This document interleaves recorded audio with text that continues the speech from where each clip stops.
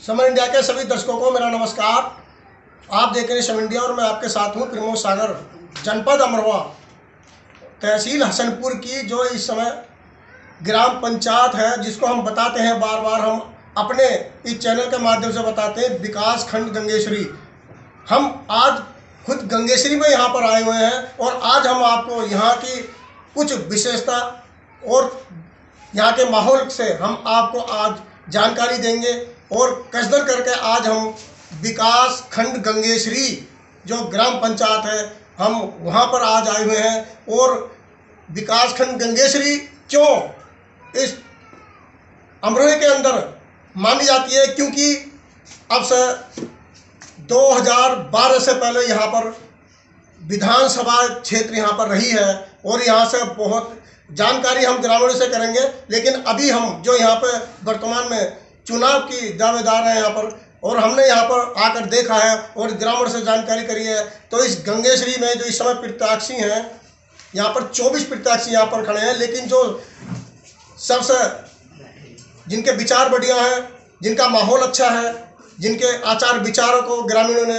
हमें बताया है यहाँ पर, आज हम पहले उम्मीदवार से जो इस समय ग्राम प्रधान पद की उम्मीदवार हैं, हम उनसे बात करेंगे और फिर हम चर्चा करेंगे कि आखिर विधानसभा जो यहाँ पर रही है, अब 2010 से पहले यहाँ पर विधानसभा थी। यहाँ से विधानसभा बताया ग्रामीणों ने कि कटने के बाद मंडी धनौरा यहाँ विधानसभा बनी है। लेकिन इस विषय में हम बाद में बात करेंगे। पहले हम जान बात करेंगे जो इस समय ग्राम प्रधान पद की उम्मीदवार हैं हम जानना चाहेंगे और उनके मन के विचारों से हम अवगत आपको कराएँगे। तो सीधे सीधे हम बात करते हैं। अब आपका क्या नाम है? चंचल सागर। चंचल सागर जी आप क्या करती हैं आप? मैं गृहिणी हूँ। मतलब घर का आप अपना काम करते हैं? आप ये बताइए अपने गाँव जो इस समय गंगेश्वरी है विकास खंड ये पूरे अमरोह में और पूरे जो विधानसभा यहाँ पर विधानसभा रही है हाँ। यहाँ पर विधानसभा भी रही है। अब कट के कहाँ बनी है विधानसभा ये? धनोरा। मंडी धनोरा।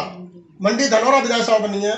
तो उत्तर प्रदेश के अंदर भी पूरा इस गाँव का नाम रहा है। तो पहले हम आप सीधी सीधी बात आपसे करेंगे कि आप प्रधानी यहाँ पर आप उम्मीदवार हैं तो आप प्रधानी यहाँ पर क्यों लड़ना चाह रहे हैं? मैं गाँव के विकास के लिए लड़ना चाहती हूँ। और ज़ोर से बोलो थोड़ा कैमरे के सामने। गाँव के विकास के लिए लड़ना चाहती हूँ। बड़े छोटे बच्चों के शिक्षा हेतु प्रेरित करना चाहती हूँ। गरीब परिवार की आवास दिलाना चाहती हूँ और गाँव में साफ़ सफ़ाई पर ध्यान देना चाहती हूँ। और हर घर पर परिवार शौचालय का निर्माण करवाना चाहती हूँ। और सरकारी स्कूलों पर शिक्षा का ज़ोर देना चाहती हूँ। सड़कों का निर्माण करवाना चाहती हूँ। और साठ वर्ष से ऊपर के बड़े बुज़ुर्गों को पेंशन का लाभ उठा उन्हें देना चाहती हूँ। यही सेवा रहेगी मेरी तरफ़ से। नहीं आ, ये आपकी बात सही आपके मुद्दे हैं। इन्होंने मुद्दे बताए हैं कि जो इन सब मुद्दों में ये सड़क निर्माण का जो मुद्दा यहाँ पर आया और हमने भी देखा है कि जो विधानसभा यहाँ पर रही है पहले तो ऐसा कुछ हमने यहाँ पे तरक्की ऐसा नहीं देखा है इस गाँव में। क्योंकि यहाँ से काफ़ी विधायक यहाँ से मिले हैं। इस विषय में हम बात करेंगे ग्रामीणों से। हम आपको बाद में इस चीज़ से अवगत कराएँगे। लेकिन इतना ज़रूर है कि अभी जो खरंजे इस गाँव में है, हमने आकर देखा है तो और कच्चा भी रास्ता है। हमने ये भी देखा है।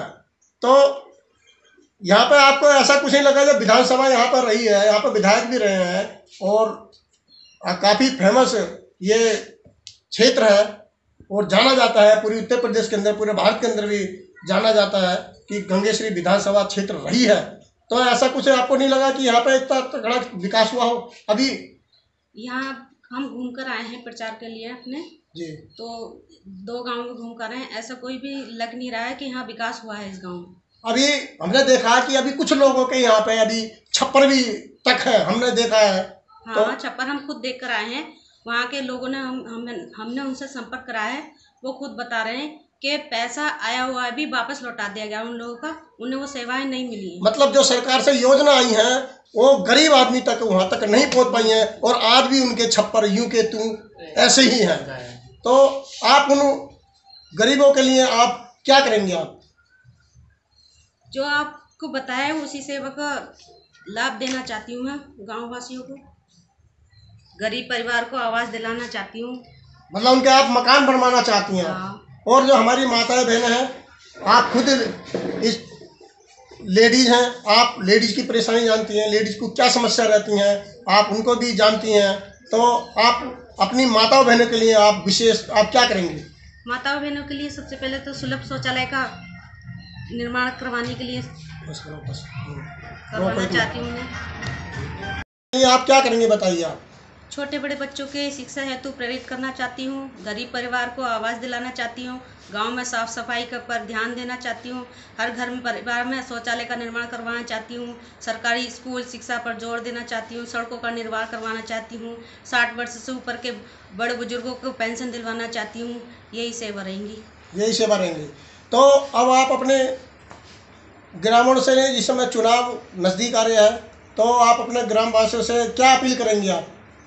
मैं ग्राम पंचायत गंगेश्री फूल फूलपुर से प्रधान पद की उम्मीदवार चंचल सागर चुनाव चिन्ह मेरा खड़ाऊ गाँव के सभी खड़ा लोगों से- खड़ा हुए आप अपना चुनाव चिन्ह दिखाइए अपनी माता बहनों को। मैं अपनी माताओं बहनों को ये दिखाना चाहती हूँ। मेरा चुनाव चिन्ह खड़ाऊ है और सभी लोगों से माता माता बहन भाइयों से अनुरोध करती हूँ कि अपने आने वाले 19 अप्रैल को चुनाव चिन्ह खड़ाओं पर मुहर लगाकर भारी बहुमत से विजय बनाएँ। अपने गाँव सब कुछ तन मन धन अपने गाँव के प्रति तथा गाँव के विकास के प्रति समर्पित करती हूँ। धन्यवाद। अच्छा अगर आप प्रधान जी आप इस बार आपको कामयाबी दिलाता है और आप प्रधान बन जाएँगी तो आप सबसे पहले इन मुद्दों में सबसे पहले आप अपने गाँव के लिए क्या करेंगे? सबसे पहले सड़क निर्माण होगा। सड़क निर्माण होगा। हाँ। क्योंकि आने जाने का जो रास्ता है यहाँ से सभी लोग यहाँ से गुजरते हैं तो आप पहले सड़क निर्माण